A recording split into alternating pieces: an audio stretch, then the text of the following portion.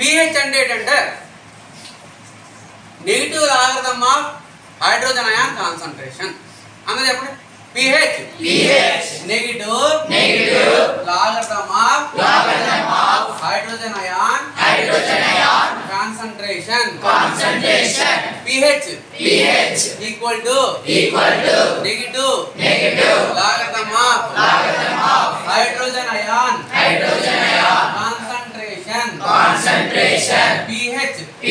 pH is equal to equal to negative negative. Log of log of hydrogen hydrogen. Ion ion concentration concentration.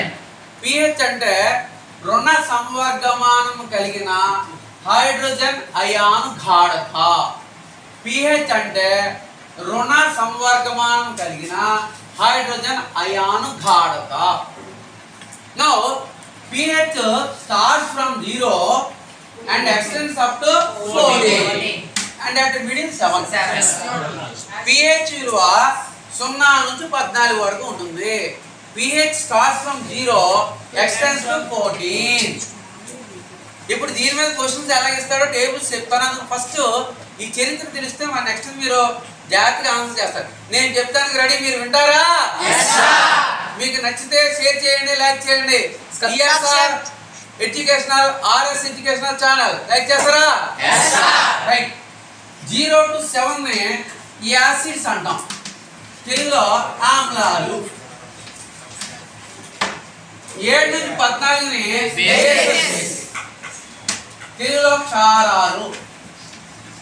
ఎగ్జాక్ట్గా seven neutral substances ఆ salts అంటారు.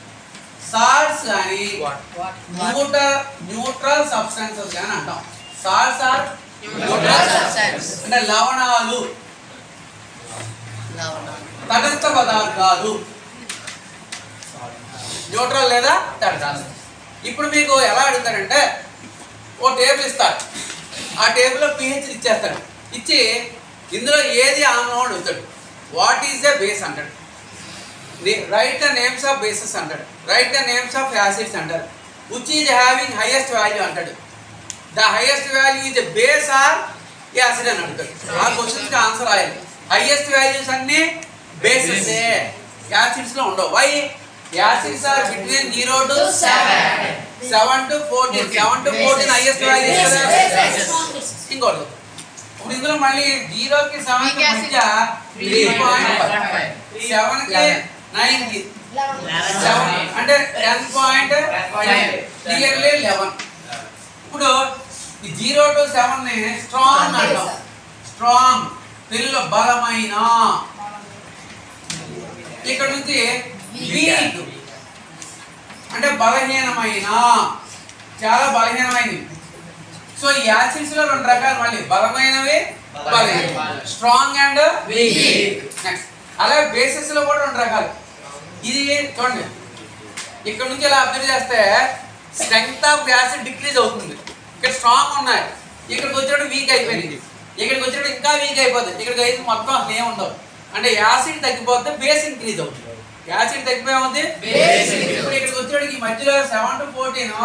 Weak bases weak చివరిదే. అంటే SS చివర ఉంటాయి W W మధ్య ఉంటాయి. చూసారా? SS strong acid strong. Weak acid. ఇప్పుడు స్ట్రాంగ్ యాసిడ్ స్ట్రాంగ్ బేస్తో కలిసిన వీక్ యాసిడ్ వీక్ బేస్తో కలిసిన దాన్ని ఏమంటారు? న్యూట్రలైజేషన్ అంటారు. న్యూట్రలైజేషన్. అంటే తటస్థీకరణ అన్నమాట తెలుగులో న్యూట్రలైజేషన్. అంటే న్యూట్రలైజేషన్ ఏంటంటే స్ట్రాంగ్ యాసిడ్ చెప్పండి strong acid combines with combines with strong base strong base strong acid strong acid combines with combines with strong base strong base gives. gives salt plus